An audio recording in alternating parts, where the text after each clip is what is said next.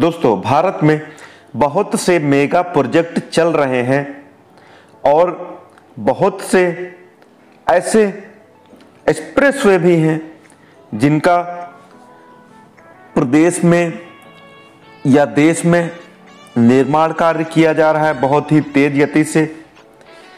एक नए एक्सप्रेसवे के बारे में आज के इस वीडियो में हम आप लोगों के साथ डिस्कस करने वाले हैं।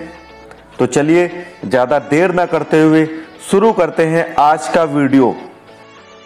उत्तर प्रदेश बन रहा है, एक्सप्रेसवे प्रदेश। इसी कड़ी में आज हम एक नया एक्सप्रेसवे के बारे में आप लोगों के साथ डिस्कस करने वाले हैं इस वीडियो में।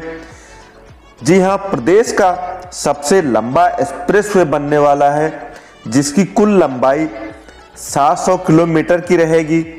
आज हम आप लोगों के साथ डिस्कस करने वाले हैं गोरखपुर शामली एक्सप्रेसवे के बारे में।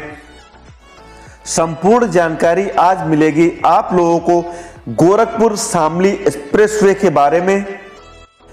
गोरखपुर से पश्चिमी यूपी और पंजाब, हरियाणा जाने वाले लोगों के लिए राहत की खबर है।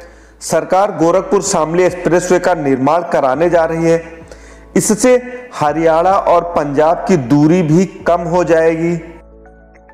उत्तर प्रदेश के कई शहरों की बेहतर कनेक्टिविटी के लिए सीएम सिटी गोरखपुर से शामली तक ग्रीनफील्ड एक्सप्रेसवे का निर्माण होने जा रहा है, जिसकी कुल लंबाई 700 किलोमीटर की रहेगी और यह गोरखपुर शामली एक्सप्रेसवे प्रदेश के 22 जिलों को कवर करेगा, जिन गाँवों के जमीनों का अधिग्रहण किया जाएगा।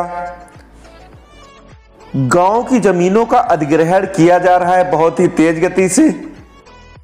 आप लोगों को बताते चले कि 2024 तक यूपी को पाँच लाख करोड़ रुपए की परियोजनाओं की सौगात दी जाएगी, जिसमें कि पच्चीस हज़ार करोड़ की लागत से गोरखपुर से सिलीगुड़ी तक सिक्स लैंड ग्रीनफील्ड हाईवे का भी निर्माण किया जाना है। वहीं गोरखपुर से शामली तक पैंतीस हज़ार करोड़ की लागत से एक ग्रीनफील्ड एक्सप्रेसवे परियोजना बनाई जाएगी, जिसकी जल्द टेंडर जारी किए जा सकते हैं। 22 ज़िले और 37 तहसीलों से होकर के गुजरेगा Gorakhpur Shamli expressway.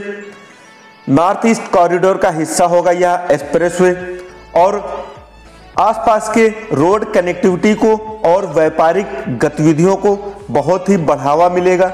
इस नए गोरखपुर शामली एक्सप्रेसवे के बनने के बाद यह एक्सप्रेसवे शामली ज़िले के गोगवान जलालपुर के पास से शुरू होकर गोरखपुर तक प्रस्तावित है और जो 22 ज़िले हैं उनके नाम अयोध्या, संत कबीर नगर बाराबंकी, गोंडा, बस्ती, बहराइच, लखनऊ, सीतापुर, शाहजहांपुर, हरदोई, बदायूं, बरेली, रामपुर, मुरादाबाद, संभल, अमरोहा, बिजनौर, मेरठ, मुजफ्फरनगर और सहारनपुर को मिलाकर के 22 जिलों से होकर के गुजरेगा गोरखपुर, शामली एक्सप्रेसवे। शामली में यह expressway Delhi Dehradun greenfield expressway को जोड़ेगा। वहीं शामली से हरियाणा के अंबाला तक green field economic corridor expressway का निर्माण कार्य जारी है। वहीं गोरखपुर को सिलीगुड़ी से जोड़ने के लिए भी इस नए एक्सप्रेसवे को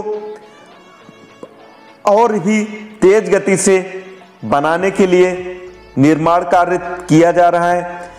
जैसे डीपीआर तैयार होता है कितने रैंप प्लाजा होंगे, कितने टोल प्लाजा होंगे, सभी जानकारियाँ आपको इस चैनल पर मिलेंगी। तो मित्रों, चैनल को आप लोग ज़रूर सब्सक्राइब कर लीजिएगा, साथ ही साथ बेल नोटिफिकेशन आइकन को ज़रूर प्रेस कर लीजिएगा। मिलते हैं किसी नेक्स्ट वीडियो में, तब तक के लिए जय हिंद, वंदे मातरम।